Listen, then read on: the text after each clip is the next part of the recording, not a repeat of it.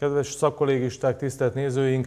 A decemberi Mártonáron szakesten a Bölcsészettudományi Műhelyhez tartozó előadás következik most. Hosszú idők után ismét visszatértünk a legnagyobb műhelyt, a legnagyobb műhely tagságot tömörítő bölcsészekhez. Az előadás több rendben is érdekes lesz, nem csak a tárgya miatt, hanem az előadó személye miatt is, Tudnélik, a bölcsészettudományi műhely vezetése élén változás történt nyáron. Takó Ferenc tanár úr egyéb terheire hivatkozva sok munkát nyög szegény, lemondott a műhely vezetői státuszáról, és helyette Egedi Kovács Emese tanárnő, a mai előadónk vette át a szakkollégisták tutorálását. Ő az ELTE 5 kollégiumának Bizantium központjának oktatója, kutatója. A mai előadásban pedig egy érdekes témáról, egy ógörög, ófrancia, bizánci kódexről fog nekünk beszélni. Tanárnő.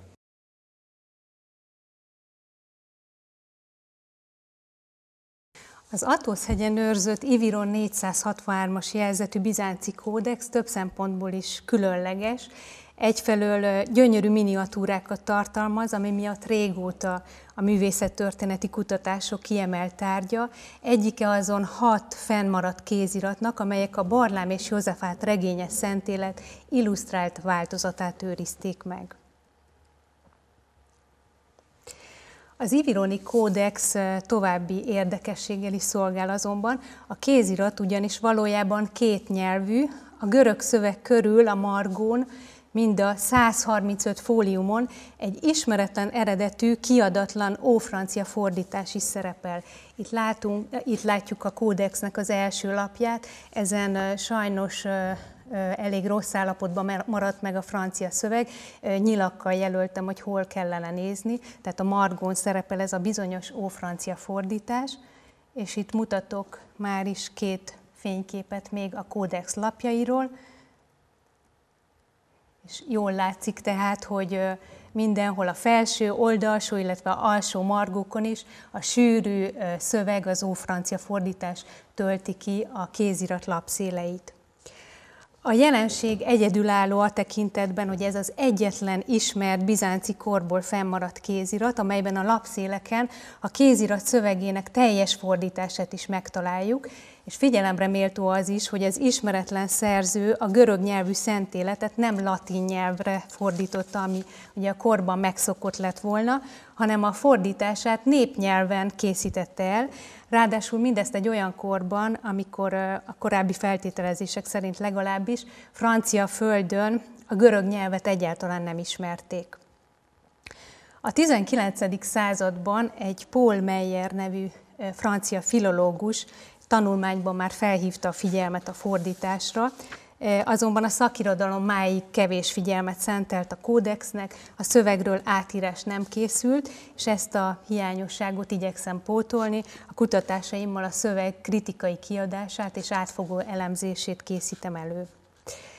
Noha egész biztosat e, magáról a kódexről sem tudunk, a benne található ófrancia fordítást még inkább homály övezi. A jelenség rengeteg kérdést vet föl, talán a, a legfontosabb, hogy mikor készülhetett ez, az, ez a fordítás, ki lehetett a fordító, és miért épp egy értékes luxus kézirat lapszíleire másolta be a fordítását, és kinek készülhetett a kétnyelvű kódex.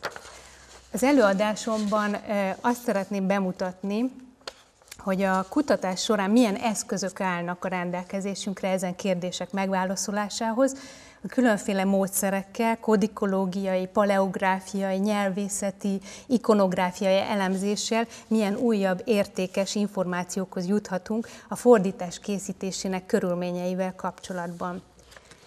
Először viszont egy pár szót szeretnék szólni magáról a kéziratról.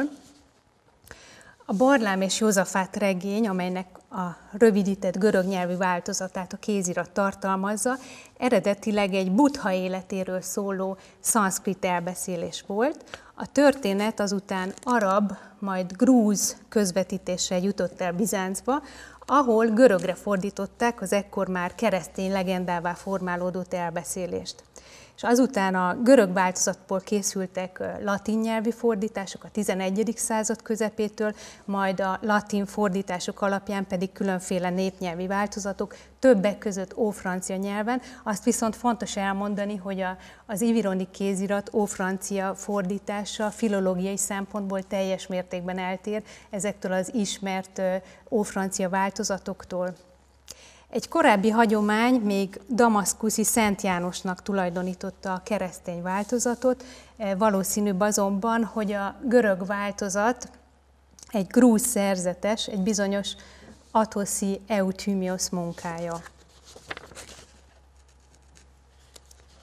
Akkor most a kézirat datálásáról, mert fontos ugye külön választani, hogy egyszer e, beszélhetünk magának a kéziratnak a datálásáról, hogy mikor készült, illetve az ófrancia fordítás datálásáról.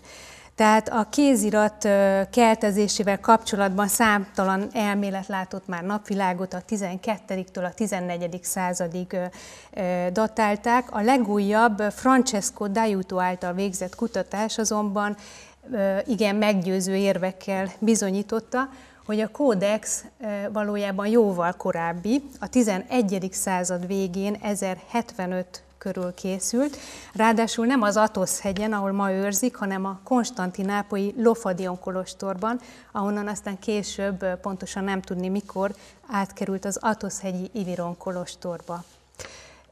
A kézirat másolója és illusztrátora is egyben, Dájutó vizsgálata szerint egy bizonyos Konstantinos nevű szerzetes lehetett, akinek még másik két kézirata is fennmaradt. És pár szót szólnék az Atosz hegyről is, ahol tehát a kéziratot őrzik, mert a kutatásaim szempontjából ennek jelentősége van. Az Atosz hegy Görögország északi részén található, és mintegy 20 ortodox kolostornak ad otthont, amelyek úgynevezett autonóm teokratikus köztársaságot alkotnak Görögországon belül, ez az Atosz-hegyi köztársaság. És ami fontos, hogy az Atosz-hegyen csak 21 évet betöltött keleti ortodox hitű férfiak élhetnek, tehát nők vagy nőnemű lény, még állat sem léphet be a szerzetesi köztársaság területére. Tehát ez azért fontos, mert ugye én így csak fényképek alapján tudok dolgozni. És akkor még egy képet mutatok, ez az a bizonyos Iviron kolostor, ahol, amelynek a könyvtárában tehát ezt a kéziratot őrzik. Maga a kézirat pergamen alapú, egy kisméretű, 23x17 cm-es kézirat, ez fontos, erre majd még vissza fogok térni, és 135 fóliumból áll, tehát azt jelenti, hogy összesen 270 oldalas könyvről van szó. A főszöveg, tehát a görög főszöveg, amit ugye középen látunk, egy oszlopba íródott, és nagyjából minden második oldalon találunk illusztrációt, összesen 80 gyönyörű miniatúrát. A kódexet valószínűleg többször szétszették, a széleiből pedig levágtak, és emiatt a francia szöveg, főként az oldalsó margókon csak töredékesen maradt fenn. Itt például egy olyan lapot látunk, aminek nagyon megrongálódtak a szélei, ugye látható, hogy itt sok helyen csak néhány betű maradt meg, azonban fontos azt hozzátenni, hogy a görög szöveg segítségével a hiányzó részek többé-kevésbé rekonstruálhatóak. És itt már is mutatok összehasonlításképpen egy másik kéziratot, ez a Vatikáni 394-es jelzetű kódex, ez a kódex ugyanakkor, tehát szintén 1075 körül, szintén Konstantinápolyba készült, és vélhetően ugyanannak a másolónak, tehát ennek a bizonyos Konstantinosznak a munkája, mint az Ivironi kézirat. A két kézirat eredeti mérete is azonosak lehettek. Ráadásul ebben a kéziratban is találunk lapszéli bejegyzéseket, ez majd a következő képen jobban látszik. Itt természetesen nem ófrancia írás van, hanem egy görög nyelvű szkolion. Ezen a dián össze lehet hasonlítani, hogy egyrészt mennyivel rosszabb állapotban maradt fenn az Ivironi kézirat. Ugye balra van a vatikáni kézirat, jobbra látható az Ivironi kézirat egyik lapja, és az is látszik, hogy milyen sokat levágtak az ivironi kézirat széleiből. Itt próbáltam arányosan egymás mellé tenni a két lapot, hogy látszódjon, hogy eredetileg az ivironi kéziratnak is ilyen széles lehetett a margója.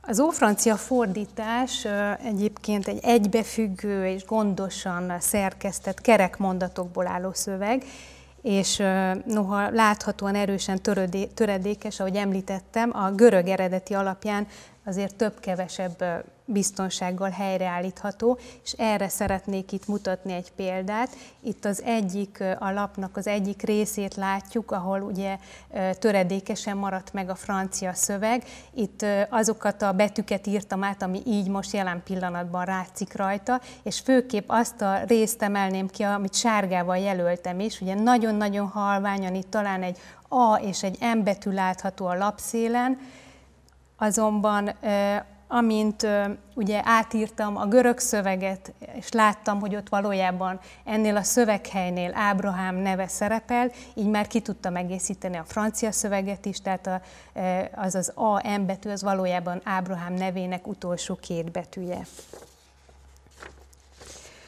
A fordítás egyértelműen a görög szöveg alapján készült, ez látható abból is, hogy több helyen találunk tükörfordítást is. A fordító láthatóan jól tudott görögül, tehát a fordítás igen pontos. Ennek ellenére találunk néhol kisebb félrefordításokat, elírásokat. Most viszont két olyan példát szeretnék említeni, ahol a, a látszólagos tévedés vagy elírás mögött egyfajta szerzői szándékosság sejthető. Itt az első példánál azt látjuk, hogy a fordító az ameli görög határozó szót, ami csak annyit jelent, hogy egyébként, két helyen is a szövegben a történet egyik általa kitalált szereplőjének neveként tünteti föl. Ugyan Ameli férfinévről nincs tudomásunk, a kortás okleveleken szerepel egy bizonyos Amelinus Gastinellus nevű délitáliai norman földesúr. És ez annál is érdekesebb, mivel a szövegben előforduló dialektális jegyek alapján azt feltételezem, hogy a, a fordító norman származású lehetett, méghozzá valószínűleg délitáliai vagy szicíliai norman, erre utal ugyanis néhány nyelvészeti és lexikai jelem. Azután a következő példánál itt megint egy, egy tulajdonnévvel kapcsolatban látunk egy elírást. A történetben az egyik szereplőnek Arahisa neve, az ófrancia változatban viszont minden egyes alkalommal az Arahel név változatot találjuk. A történetben, ahol az Arahis nevű szereplő megjelenik, épp egy asztrológusról esik szó. Így nem kizárt, hogy az Arahel névváltozat egy valós személyre, a toledói asztrológusra Abu Izák Ibrahim Kalira utalhat, akit Európában nevének latin változatai szerint tartottak számon.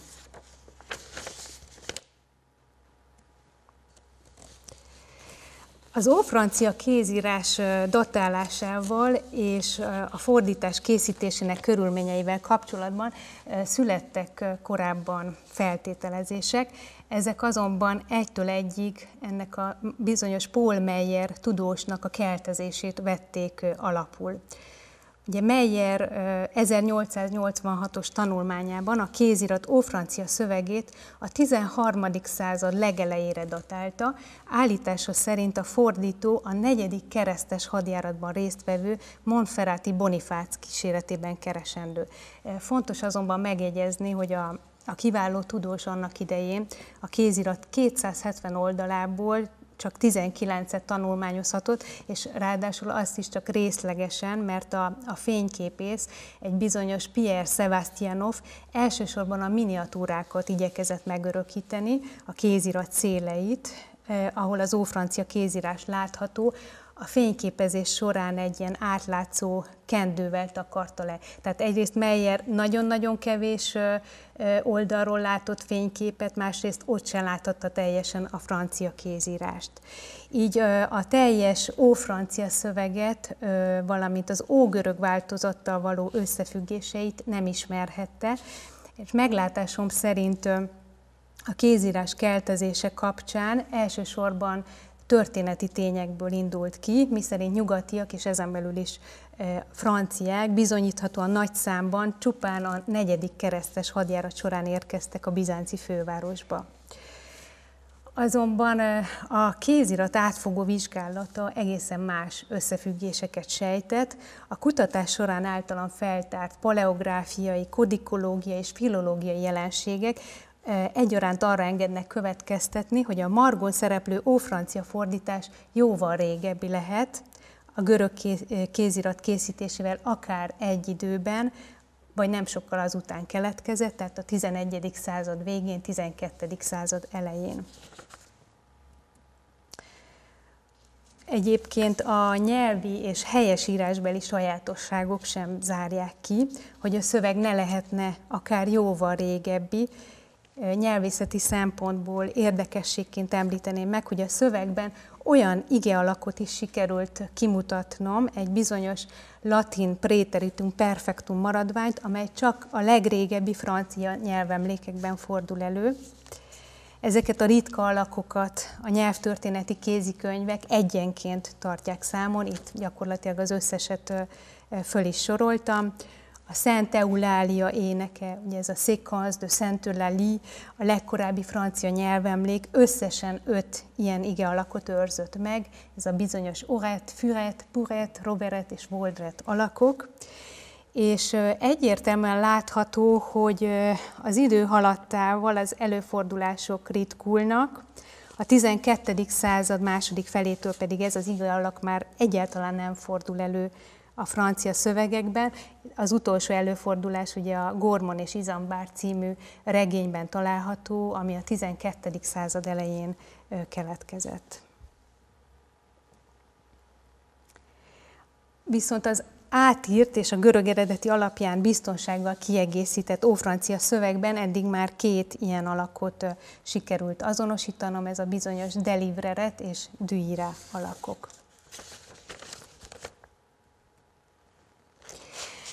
A kutatásaim során a kéziratot elsősorban filológiai módszerekkel igyekeztem vizsgálni, és a töredékes francia szöveg helyreállításához mindenek előtt elengedhetetlen volt a kódex görög főszövegének az átírása, és legfőképp a görög szöveg egyedi olvasatainak a kimutatása, amelyeket azután összevetettem az ófrancia változattal.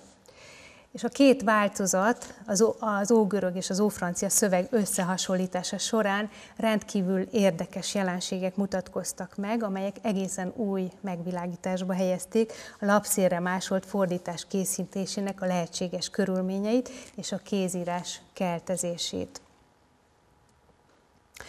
A kézirat görög főszövege, a Barlám és Józafát regény kézirati hagyománya szempontjából tulajdonképpen jelentéktelen, Ugye elsősorban a francia fordítás szempontjából volt fontos, sőt megkerülhetetlen az átírása.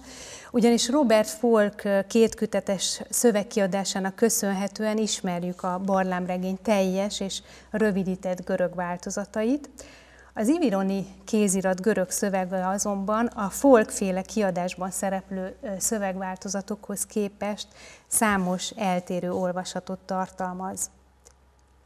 És ezeket az eltérő olvasatokat az itt látható szempontok szerint csoportosítottam, és ezek közül igazán a harmadik, negyedik és az ötödik csoporthoz sorolt eltérések, amelyek figyelemre méltóak, és ezekhez mutatnék néhány példát.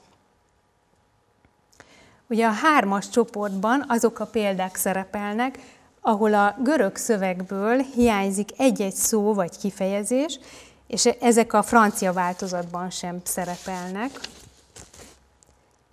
Ezek általában tehát a, a mondat helyességét nem befolyásolják. Ennél is érdekesebb a negyedik csoport, ahol a görög szövegből hiányzó francia szavak a francia fordításban mégis megjelennek. Tehát itt arról van szó, hogy itt egészen biztosan másolói hiba folytán kimarad véletlenül a görög szövegből egy szó, és ez mégis megjelenik a francia fordításban. Itt csak egyetlen érdekes példát szeretnék mutatni. Itt a, a görög szövegből az auratos, a láthatatlan jelentésű szó maradt ki, ott pirosra jelel, jelöltem a helyét, tehát látjuk, hogy még előtt, az előtte szereplő assomatus szó is ott van, utána is az aperigraptos szó, és közötte hiányzik az auratos kifejezés. Viszont ennek megfelelőjét a francia szövegben mégis megtaláljuk, ezt türkiszel jelöltem, tehát a nien viable kifejezés ugye egyáltalán nem látható, vagyis láthatatlan, ez a pontos megfelelője a görögből kimaradó szónak. Ugyanennél a csoportnál találunk egyébként arra is példát, hogy a görög szövegben hibásan kétszer leírt szavak a francia fordításban helyesen már nem szerepelnek, tehát itt is úgy látszik, hogy a francia fordító javította a görög másoló hibáját. És végül az ötödik kategóriához soroltam a más kéziratokban nem szereplő egyedi olvasatokat, ezek mindegyike megtalálható az ófrancia változatban is, és itt is csak egy példát szeretnék kiemelni. Itt az összes görög változatban a makran szó szerepel, a hosszú, az a jelentés, hogy hosszú, tehát tén makria, mak, makran hodon, tehát a hosszú út, ehhez képest az Ivironi kódex görög változatában a makarian, vagyis a boldog szó szerepel, és ugyanezt találjuk a francia változatban is, ugye bonheur et voix, megint csak türkisze jelöltem a kézirat lapján ezt a részt. Összességében tehát megfigyelhető, hogy egyfelől a kizárólag az Ivironi kódexben található egyedi olvasatok rendre megjelennek a francia változatban, ugyanakkor előfordulnak olyan szöveghelyek, ahol a görög változatból valószínűleg másolói tévesztés miatt kimarad egy-egy szó, amely olvasatok a francia változatban mégis szerepelnek. És mindezek alapján a következő megállapításokat tehetjük. A korábban feltételezett elképzelés, miszerint a francia fordító közvetlenül a kódex szövegét fordította és másolta be a kézirat markójára, biztosan nem helytálló, mert ugye ha a fordító csak az ivironi kézirat szövegét látta volna, akkor nem tudta volna javítani a görög írnok másolási hibáit. Ugyanakkor, mivel az ivironi kézirat eltérő olvasatai is rendre megjelennek az ófrancia szövegben, az sem valószínű, hogy egy teljesen más szövegváltozat alapján készült volna a fordítás. És én azt feltételezem, hogy létezett egy mára elveszett közös forrásszöveg, egy másolói példány, amelyet mind a görög írnok, mind a francia fordító használhatott, és így valószínűsíthető az is, hogy a két kézirat, a másolói példány és az Ivironi kódex a fordítás készítésekor még egy helyen lehetett, a francia fordítás pedig a kódex készítésével nagyjából egy időben és esetlegesen egy munkafolyamat részeként készülhetett.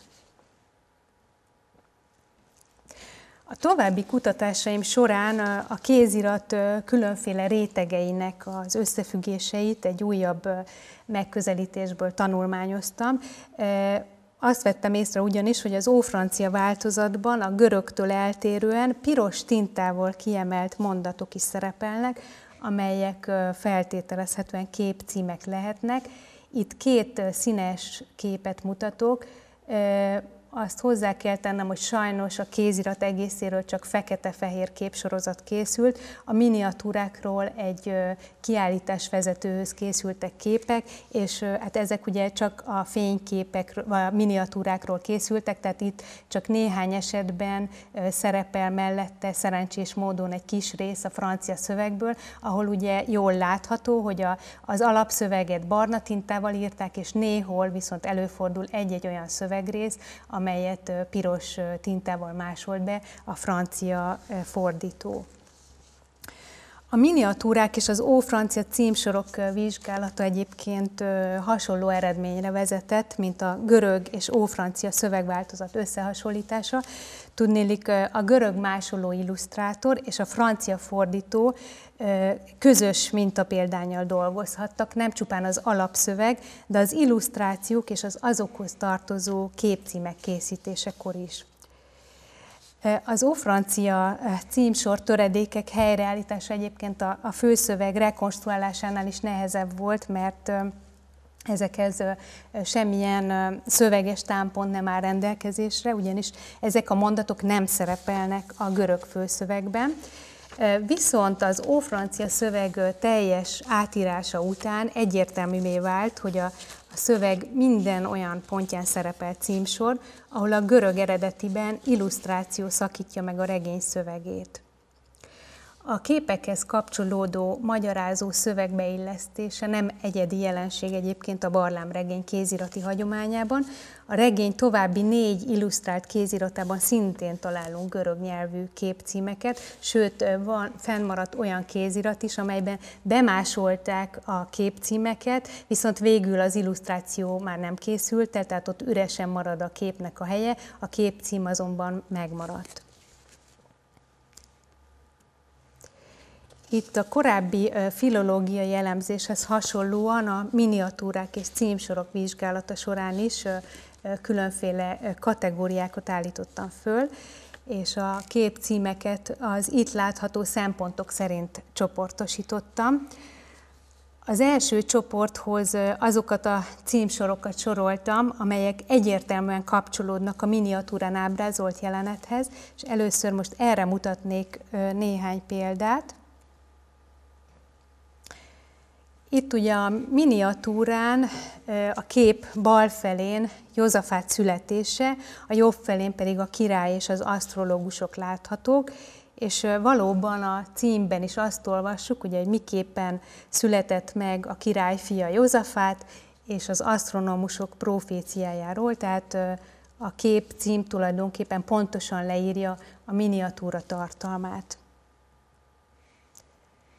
Azután ennél a példánál is azt látjuk, hogy, hogy összhangban van a miniatúra tartalma és a képcím. Ugye itt a címben azt olvassuk, hogy miként küldi el Barlám Józafátnak a ruháját, amelyet tőle kért, majd miként búcsúzik és vonul remeteségbe, és valóban a miniatúrán három különálló jelenet látható. Ugye először Barlám zálogul adja a kabátját, középen látjuk, hogy búcsút int Józafátnak, majd távozik. Azután vannak olyan címek is, amelyek inkább tartalmi összefoglalónak vagy fejezet címnek tűnnek. Itt erre mutatok egy példát. Itt azt olvassuk a címben, hogy miként gondolt, vagy miként elmélkedett a halálról, és a miniatúrán viszont a kép első felén Józafát és tanítója látható, a második felén egy szerzetes, aki minden bizonyal barlám lehet, amit egy barlangban ül. Tehát látszik, hogy igazából a cím azért nem a képet írja le. És ez a cím azért is érdekes, mert más barlám kéziratban is találunk hasonló görög címet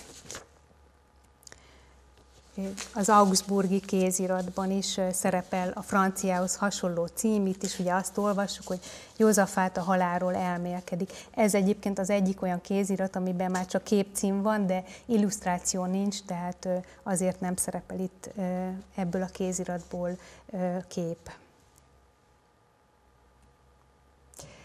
Találunk azonban arra is példát, hogy a kéziratban noha szerepel miniatúra, címsort mégsem találunk az ófrancia szövegben. Itt például a miniatúrán, ugye a négyes verzó fóliumon Abenér király és a szerzetesek láthatók, képcím azonban a francia szövegben nem szerepel, Ugyanakkor megfigyelhető, hogy a fordítás adott szöveghelyénél több sor, sornyi lapszír marad üresen, ezt ott jelöltem is pirossal, és feltételezhető, hogy ehelyütt is szerepelt volna piros tintás címsor, amelyet aztán a másoló hát talán elfelejtett utólag beilleszteni. Ennél is érdekesebb az a jelenség, hogy néhány esetben ott is találunk az ófrancia szövegben címet, ahol a görög szöveg ugyanazon pontján nincs miniatúra a kéziratban.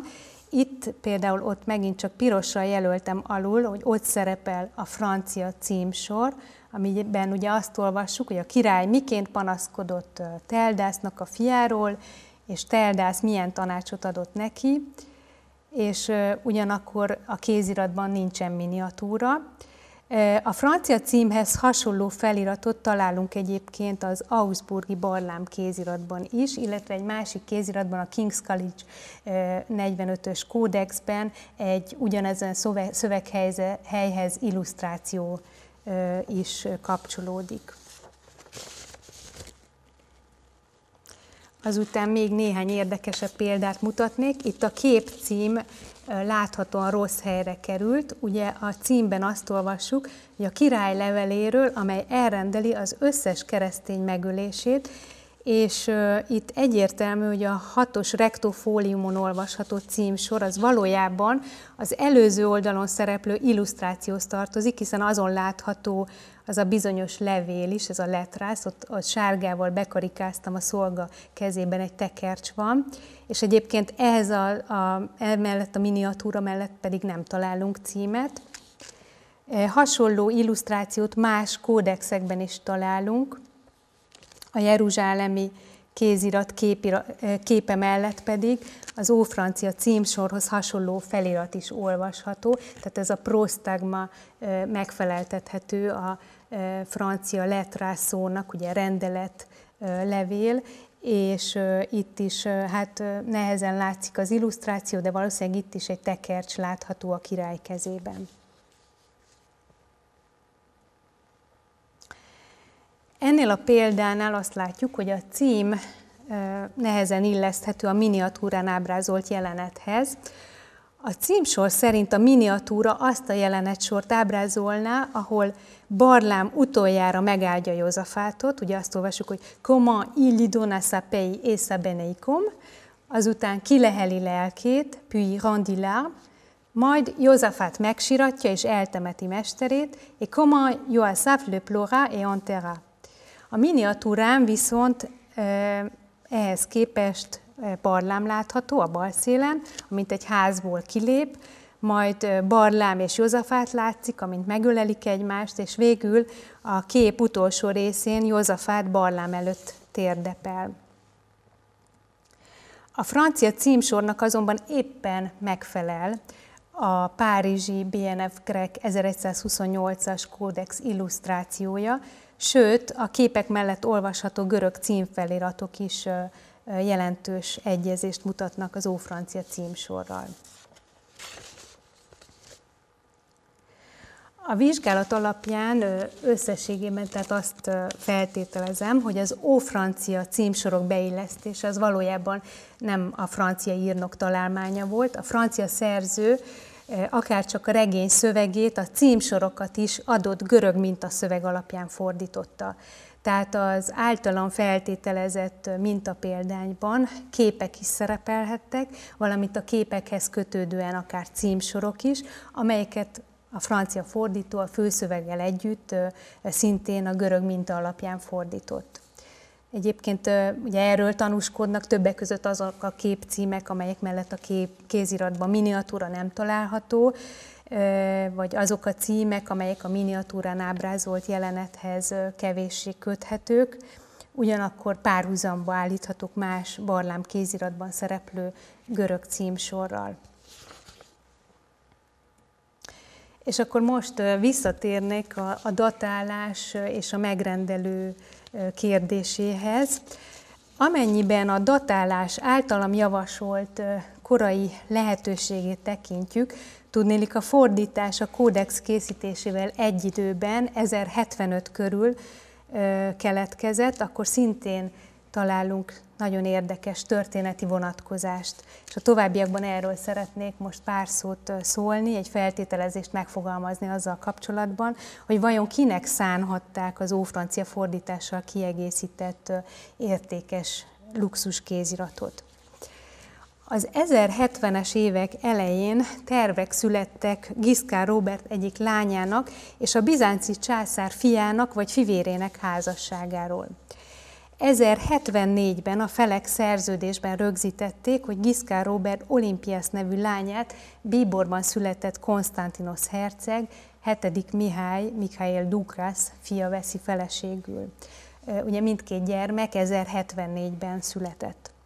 1076-ban a lányt el is küldték Konstantinápolyba, ahol a, a korabeli szokások szerint a görög Helena nevet kapta, Azonban miután 1081-ben első Alexios Komnénos került hatalomra, a házasság végül nem jött létre. A Norman lány egyébként valószínűleg továbbra is Konstantinápolyba maradt, a császári palota egyik eldugott szegletébe vagy kolostorba száműzve. Feltételezésem szerint a görög nyelvű kéziratot eredetileg a Bíborban született trónörökös Konstantinos herceg számára rendelte meg maga a császár.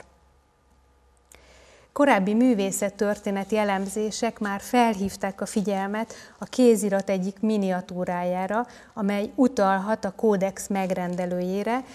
Marina Tompuri a miniatúra két elegáns öltözetű bíbor lábbelit viselő alakja alapján, akik itt a képen láthatók, amelyek ugye a megszokott ikonográfiai ábrázolástól eltérően a kompozícióban feltűnnek, azt feltételezi, hogy a kéziratot a császári család rendelhette meg. Egyébként a másoló illusztrátor Konstantinos más kézir, másik két kéziratában is találunk erre példát, találunk olyan ábrázolást, ami szintén a megrendelőre utalhat. A kézirat formátuma is egyébként ezt a feltételezésemet látszik alátámasztani, miszerint a, a herceg számára rendelhették meg a kódexet. Ugye, ahogy, ahogy már az elején is említettem, a kódex kisméretű, egy gyermek kezében épp elférhetett, de azért annyira mégsem pici, hogy azt feltételezhetnénk, hogy ez egy utazásra szánt zsebkódexnek készült. Azután a kézirat ugye miniatúrákkal igen gazdagon díszített, nagyjából minden második lapon találunk miniatúrát.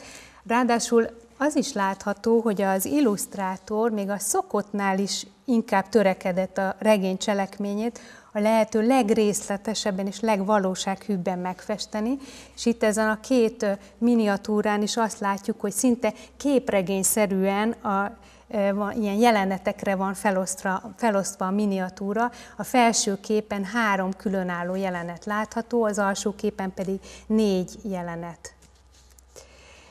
Ugye mindez szintén egy írni-olvasni még nem tudó gyermek számára hasznos lehetett. Ráadásul maga a történet is egyfajta hercegi útmutatás, ugye egy herceg, tehát Józafát herceg lelki fejlődését, a hatalomhoz és valláshoz való viszonyulását ábrázolja. Feltételezésem szerint tehát eredetileg a kéziratot az 1074-ben született trónörökös számára rendelték meg, Pár hónappal azután Konstantinos születése után köttetett az eljegyzés, és talán ekkor rendelték meg a kézirat francia fordítását. A díszes kétnyelvű kéziratot lehetséges, hogy jegyajándéknak szánták az ifjú, hát valójában még kisdet pár számára. A bizánci császár talán így próbált gesztus gyakorolni, a retteget ellenség a Norman uralkodó jó indulatát megnyerni. Tudnék, a könyv az lehetőséget biztosított volna a Bizáncban cseperedő kislány számára, hogy a görög mellett a felmenői nyelvét is elsajátítsa. Ugyan a Frigy végül meghiúsult, az 1075 és 81 között eltelt hat év elegendő lehetett azonban a görög szöveg fordítására és az ófrancia szöveg bemásulására a kódex lapszéleire. Egyébként a kézirat kodikológiai jellegzetessége is azt sejtetik, hogy a, a megrendelés folyamata az két részből állhatott, mert ugye, hogyha a, kó, a kódexet kezdettől két nyelvűnek tervezték volna, akkor a szövegek elrendezése bizonyára másképp lenne, tehát a két szövegrész vagy két oszlopban lenne bemásolva, mire sok példát találunk bizánci kéziratok esetében, hogy két oszlopban szerepel a szöveg, vagy a kódex lapjain felváltva szerepelne a görög és az ófrancia írás. Azután egyébként a, a kéziratnak, kéziratban egyéb olyan érdekes jelenséget is találhatunk. Itt arra mutatok példát, hogy az arany színnel megfestett görög majuszkulák sok esetben úgy tűnik, hogy valójában a francia szöveg fölött szerepelnek, tehát úgy tűnik, hogy a francia szöveg előtt lett bemá, előbb lett bemásolva a kéziratba, mint ezek a görög nagybetűk. Ugyanakkor az említett feltételezés arra is magyarázatot adhat, hogy miért maradt végül a kétnyelvű kézirat görög földön, ha a kódex egy illusztris nyugati vendég számára készült volna ajándékba, a kéziratot ma minden bizonyal nyugaton, nem pedig az Atosz hegyen őriznék. Köszönöm szépen a figyelmet! Köszönjük szépen az előadást tanárnőnek, és reményeink szerint folytatjuk még a szakestek sorozatát. Egyelőre nem tudom megmondani még, hogy milyen tárgyban, de mindenképpen jelentkezni fogunk. Viszontlátásra!